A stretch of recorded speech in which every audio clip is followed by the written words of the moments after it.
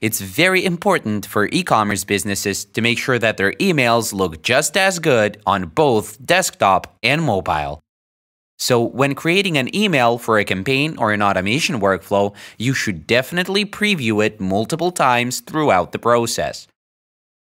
Don't forget to look at both desktop and mobile.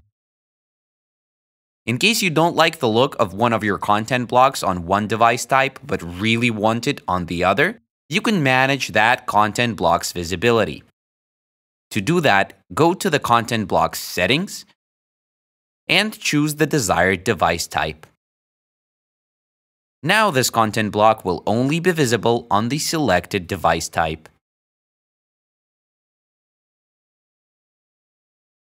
In case you have a content block that you would like to tweak just a bit for a different device type but not hide completely, you can do that by simply duplicating the original content block, making the desired changes, and selecting different device types for the two blocks.